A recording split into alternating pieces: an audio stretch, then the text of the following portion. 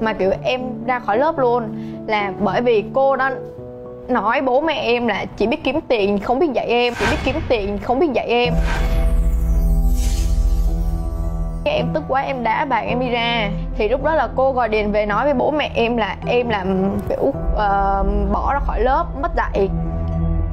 Cái xong rồi bố em về em kể cho bố em nghe thì bố em bảo là uh, bố biết là con thương bố nhưng bố không muốn con thất học. Thì bố là cái lý do mà để em có thể đi học tiếp. Xong cái hôm mà năm cấp 3 mà em không thể nào học được nữa thì em có xin bố là con không học được nữa. Thì lúc đó bố em lên trên trường để rút cái tờ học bạ về á. Thì bố em khóc ở trên trường. Bố em đau lòng vì khi em nghỉ học. Lúc mà ba bố rút về rồi thì bố cũng bảo với em là thôi, con nghỉ học rồi, ráng kiếm cái nghề đi. Xong rồi hả, để con không phải thua thiệt với mọi người, bố thì không muốn con thua thiệt mọi người. Thì chính vì là em nhìn thấy những cái điều như vậy, kiểu bố và mẹ em rất là đau khổ vì em nhiều rồi, thì em mới cố gắng em kiếm tiền. Bố mẹ em là động lực để có thể em kiểu bước tiếp và em muốn bản thân mình phải thành công và kiếm nhiều tiền hơn nữa. Thì em đã từng trải qua cái thời điểm mà em không nghĩ đến cảm xúc của bố mẹ và em làm bố mẹ em buồn rất là nhiều mà đến có một thời điểm mà bố mẹ em phải nhốt ở trong phòng bởi vì em quá quậy. Còn mối quan hệ giữa em với lại gia đình chồng thì như thế nào? Trời em thân lắm trời ơi em thân dã man mọi người ai mà tiếp xúc với em ai cũng bởi em kiểu như em bước vô câu chuyện cổ tích vậy á tại vì lúc mà em mới gặp mẹ chồng em là chưa gặp luôn, mà chỉ mẹ chồng em bên anh. Thì em gọi điện FaceTime với mẹ chồng em. Chị nói chuyện với chơi mẹ là mẹ ơi, mẹ về, mẹ rước con đi. Con về, con làm dâu nhà mẹ. Tại lúc có rất là nhiều người mẹ mẹ cũng cầm điện thoại bên ôi con dâu tên này, con dâu tên này đẹp không đẹp không? Cái xong rồi về Việt Nam mà chưa gặp gì hết trơn là kiểu tự nhiên ờ, chị đã phơi tham thôi, về thì hai mẹ nói chuyện như là thân lắm vậy á. Kiểu thân như là họ về làm dâu mấy năm rồi đó. Khi mà về nhà, em hợp với tất cả mọi người trong nhà luôn và em cũng là người đầu tiên mà phụ nữ mà hiếu dẫn về mà cả dòng họ đồng ý. Em nghĩ là cả gia đình bên chồng em yêu thương em như vậy là vì điều gì? Em nghĩ là vì tính cách của em với là một phần nữa em khác những người phụ nữ khác trước của hiếu. Tại vì em có thể tự lập được tài chính của em. Thứ hai nữa là mọi người trong nhà thì hồi trước thì kiểu hơi khó gần với nhau á. Mà trong cái từ khi em về thì em lại kéo sát mọi người lại gần với nhau hơn. Bố chồng em là một người rất là kiểu rất là hay kiểu mặt cũng hay nghiêm nghị như thế này này thì mọi người trong nhà không ai dám nói chuyện với bố. Nhưng mà từ khi em đi về nhà thì em lại chọc bố mà em lại kéo bố gần với tất cả mọi người trong nhà em hơn. Thành ra là uh, bố cưng em. Xong rồi thành ra là khi mà bố cưng em thì em hay lôi bố đi chung với mọi người. Thành ra là em tạo được sự liên kết đó. Và Hay khi quá. mọi người thấy được cái sự đó của em thì mọi người thích rất là kiểu mến em. Này không phải là em may mắn đâu mà là em em là tự bản thân em chủ động làm được cái việc đó. Ừ. thế thì còn cái mối quan hệ của chồng em với bên gia đình em là tại vì chồng em thì lớn hơn em tới con giáp. Thì cái số tuổi của chồng em với lại những anh chị em trong gia đình em hoặc là với với ba mẹ thì nó cũng không có cách nhau là bao nhiêu. Thì nó có khó khăn trong cái những ngày đầu không? Ừ, dạ không mà trời chồng em như con nít vậy á bước vô mẹ em cứ mẹ ơi con đau quá mẹ ơi con đau quá. chồng em vô con nít gì á bố mẹ em thương lắm. Là mỗi lần mà về bố mẹ em á, là biết hiếu thích ăn món gì là chỉ cần nhìn là cách hiếu mà hay ăn á. Với lại là hỏi em là hiếu muốn ăn cái gì là kiểu như là chỉ cần bảo là ờ ngày mai tụi con về là bắt đầu buổi sáng là bắt đầu đã đi chợ xong rồi kiểu chuẩn bị đồ ăn hết rồi để tối hai đứa về thôi. Cái gì cũng phim mà riết mà em nhiều cảm giác em như con ghẻ gì á.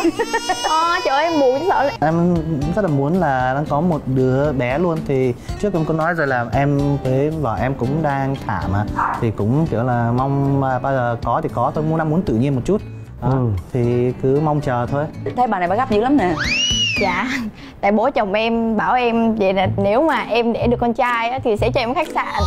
Còn em để được con gái thì sẽ cho căn nhà. Nếu sinh đôi thì sao ta?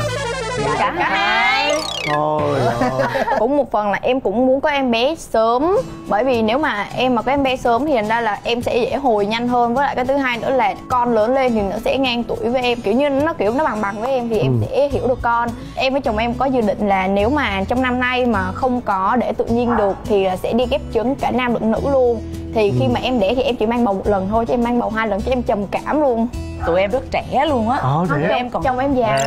Ba mươi hai rồi. Ba mươi hai mà già cái gì? Anh ba mươi sáu cũng có con mà. Ờ, với một người đầy kinh nghiệm mà có con ở cái tuổi gọi là hơi hơi luống trung niên rồi đó anh muốn khuyên các bạn là cứ để tự nhiên. Can thiệp y học nó là một cái điều thật ra hiện nay trong cái xã hội mình phát triển như vậy thì rất tốt nhưng mà trường dạ. hợp bất khả kháng kìa. Đối với em thì em nghĩ là nếu mà về phần đẻ thì em cũng thiên về tự nhiên rất là nhiều.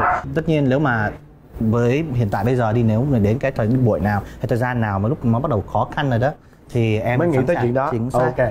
Thôi giờ xin bạn phép của như chúng ta tách nhóm đi. Đúng. nhé em bắt ai? em bắt đứa nít nè. Đừng hết hả? Đúng. Mấy đứa nhỏ nhỏ mà dễ nói chuyện. May quá. Anh cũng vậy. Cũng đang định bắt ông này để học ổng nhiều chiêu.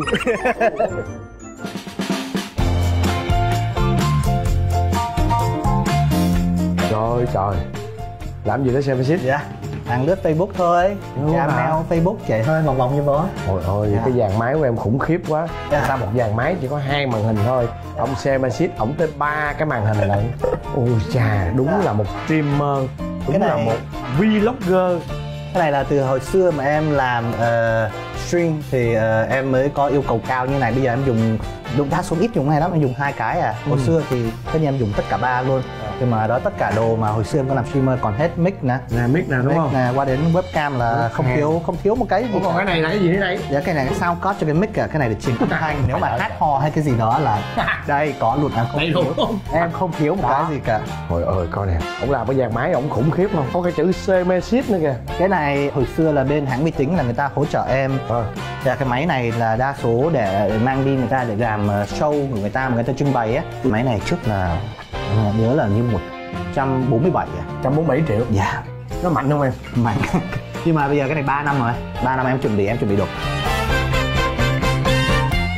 cuộc sống của em sau khi mà em ờ, lấy chồng á ờ, nó có bị khác biệt về cái ờ, cách sống không? Cuộc sống vợ chồng em thì không khác biệt nhiều. Kiểu ờ, chồng em thì mọi người cũng thấy là kiểu chồng em kiểu hơi con nít á. Mà em thì là em bị hơi già hơn trước tuổi. Thành ra khi hai vợ chồng ở chung với nhau thì nó lại đứng âm giữa. Cho chị hỏi là lúc hai đứa lấy nhau á thì ờ, có bị nhiều thị phi không Dạ thì cũng có bảo là em không cùng đẳng cấp với chồng em Tại vì chồng em thì lại tốt nghiệp đại học bên nước ngoài Còn Ừ. em thì lại không có tốt nghiệp đại học Mà em thì là đã đi ngoài đời đi làm luôn Thì thành ra là mọi người lấy cái phân biệt là em không có đi học Để mọi người lấy mọi người dồn vào em mọi người chửi em đọc được những cái điều đó ở đâu từ ở trên trên Dạ em đọc kênh trên, YouTube. Dạ trên youtube rồi trên báo mạng này đó thứ Những cái gì mà người ta nói khi mà chồng em đọc được Chồng em không hề mà nghĩ sai về em Mà chồng em chỉ bảo là kệ người ta đi kiểu ổng hiểu em là được. Mình thấy là cái thứ nhất nha anh trang rể này rất tự nhiên.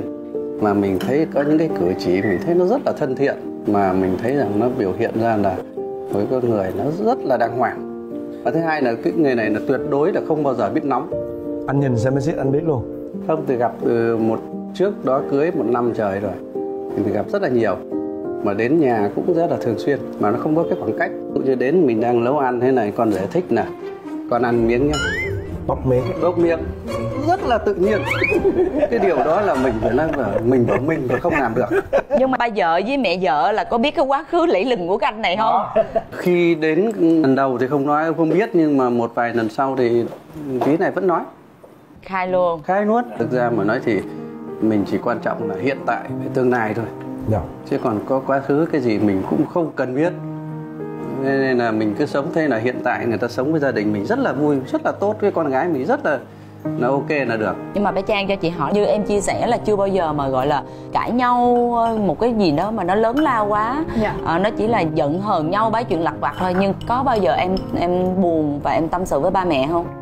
Dạ không ạ, tại vì em sợ làm ba mẹ buồn Ba mẹ suy nghĩ, đặc biệt bố em là một người suy nghĩ rất nhiều. Chỉ cần biết hôm đấy em buồn hay như thế nào thôi là cả đêm bố em sẽ không ngủ được. Bố em bị thận, với lại bố em cũng rất là nhiều bệnh Nên là em không muốn nói cho bố mẹ để bố mẹ phải lo. Em cảm giác như cái câu chuyện đó em có thể giải quyết được Thì em không muốn liên quan đến bố mẹ. À, Em với vợ em thì cãi nhau cũng có nhưng mà tính hai vợ em chồng em là một không giận nhau lâu được. Hai nữa cãi nhau tí là tách nhau ra không nói nữa. 5 phút gặp lại lại như không có gì xảy ra. Yeah. đó em nghĩ sao là vợ em hiểu vấn đề hay là em hiểu vấn đề là đủ là mình không có kiểu giận dai á. Không có nói thêm xong. hơn nữa. Dạ. Mình không đẹp bụng gì hết ạ Ở nhà là anh là có hai cô công chúa đúng không? không có một trai một Dạ gái. anh trai ạ. Anh trai. năm nay học đại học luật năm thứ hai. Ừ. Chắc là cái tình cảm chắc thiên về cô này nhỉnh hơn chút xíu đúng không? thì đúng rồi. Anh rất muốn nghe cái suy nghĩ trong em. Đặc biệt là với ba em. Ba em biết em thương ba em như thế nào. Tại vì hồi đó em kiểu em kiểu quậy. Cái xong rồi em hay làm ba buồn. Mà cái nước mắt của người đàn ông nó rất là khó khóc. Mà em làm ba em khóc hai lần gì em. Kiểu có một lần em đã từng cãi cô mà kiểu em ra khỏi lớp luôn.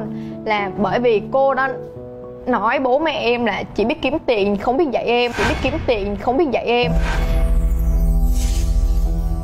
Em tức quá em đá bạn em đi ra. Thì lúc đó là cô gọi điện về nói với bố mẹ em là em làm kiểu uh, bỏ ra khỏi lớp mất dạy cái xong rồi bố em về em kể cho bố em nghe thì bố em bảo là uh, bố biết là con thương bố nhưng bố không muốn con thất học. Thì bố là cái lý do mà để em có thể đi học tiếp. Xong cái hôm mà năm cấp 3 mà em không thể nào học được nữa thì em có xin bố là con không học được nữa. Thì lúc đó bố em lên trên trường để rút cái tờ học bạ về á thì bố em khóc ở trên trường. Bố em đau lòng vì khi em nghỉ học. Lúc mà ba bố rút về rồi thì bố cũng bảo với em là thôi, con nghỉ học rồi, ráng kiếm cái nghề đi. Xong rồi hả, để con không phải thua thiệt với mọi người, bố thì không muốn con thua thiệt mọi người. Thì chính vì là em nhìn thấy những cái điều như vậy, kiểu bố và mẹ em rất là đau khổ vì em nhiều rồi, thì em mới cố gắng em kiếm tiền. Bố mẹ em là động lực để có thể em kiểu bước tiếp và em muốn bản thân mình phải thành công và kiếm nhiều tiền hơn nữa. Thì em đã từng trải qua cái thời điểm mà em không nghĩ đến cảm xúc của bố mẹ và em làm bố mẹ em buồn rất là nhiều mà đến có một thời điểm mà bố mẹ em phải nhốt ở trong phòng bởi vì em quá quậy thì sau này em mới nhận ra một điều là dù mà em có ăn chưa, em có biết bao nhiêu bạn đi nữa, nhưng mà sau này em mà chỉ cần vấp ngã thôi, em nhìn lại sẽ không còn ai mà chỉ cần lúc bố mẹ em thôi. Mà có một người từng nói với em là em rất là may mắn khi em có thể nhìn thấy được điều đó sớm hơn vì bố mẹ em đang còn trẻ. Chứ còn để đến lúc mà em 30 tuổi em nhận ra thì bố mẹ em đã già rồi, lúc đó em không còn cơ hội nữa. Bố mẹ luôn nhớ là con yêu bố mẹ nhiều ơi là nhiều và khánh cũng như vậy con uh, trưởng thành cho nên bố mẹ uh, rất là mừng bố mẹ rất là vui. Đúng rồi bố mẹ rất hạnh diện với con. Bố mẹ lúc nào yêu con. Ừ.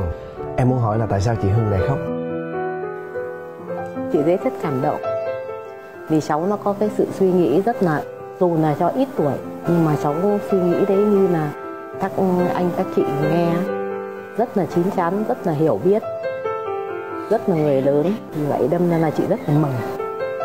Nhiều lúc có chị lên trên này cứ cứ hai, ba giờ sáng cứ vào nằm với chị tâm sự. Chính vì thế đâm tất cả những cái gì của cháu, kể cả cái nhiều lúc chị cũng bảo sao con bé lâu lâu nó không gọi điện cho mình. Nhưng mà chị lại bỏ qua hết, vì mình hiểu được cái lòng của chú với mình. Cái sự quan tâm rồi mọi cái, tâm sự nhiều lắm lắm lúc chị bảo chứ, thôi con đây con về con ngủ đi để cho mẹ con ngủ. Chứ mày cứ sang đây mày nắm đây mẹ không ngủ được. Nhưng mình nghĩ lại những cái đấy đấy, thành thử ra không bao giờ chị để ý cái gì bất cứ kể cả có khi nó nghĩ là nó làm sai với mình đấy, nhưng mà bản thân chị để chị không nghĩ nó sai, mà rất là yêu thương cháu. Thật ra nếu như mình xem đây là một ừ, một cái gia đình trọn vẹn và tất cả các thành viên đều có thể dễ dàng, có thể là chia sẻ, có thể đồng cảm, có thể nói với nhau, có thể ôm nhau, có thể dạy dỗ và có thể tha thứ thì ở đây lại có một người mà anh rất muốn nói chuyện, mà đó là chú em Semesis tất cả gì mà em đã hy sinh cho em từ lúc em bé đến lớn, cho một người mẹ đơn thân mang hai đứa con qua nước ngoài, không biết tiếng, không có tiền, không có gì cả, mà kiểu cố làm thuê mà làm thuê, kiểu không phải làm thuê mà kiểu thuê đàng hoàng của mình mình chưa có quốc tịch ấy. Đó, thì không làm việc được đàng hoàng nữa thì mẹ em đã hy sinh quá nhiều cho em và anh của em. Em cũng không phải là một đứa bé mà kiểu như là ngoan ngoãn cả. Có lần em ăn cắp tiền mà em có ăn cắp tiền luôn nhưng mà thời đấy là em còn chưa biết tiền là giá trị như nào hết á.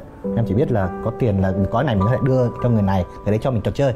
Mời đến ờ, uh, cảnh khi mẹ thấy mẹ em kiểu là đi làm mà đi làm kiểu về khuya mà đứng bên ngoài mà tuyết rơi kiểu đấy phải đợi xe buýt mà trong đấy phải xách kiểu như là một cái túi quần áo là rất là nặng là xách trong ba đồ phải kéo là cái đấy xách lên xe buýt, đợi xe buýt trong khi tuyết rơi nó nó thổi vào mặt.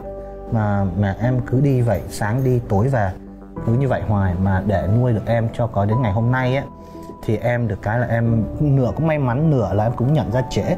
Thì như là trang đi, em là người nói là câu là trang đã rất là may mắn là khi nhận ra sớm giá trị của bố mẹ mình là gì.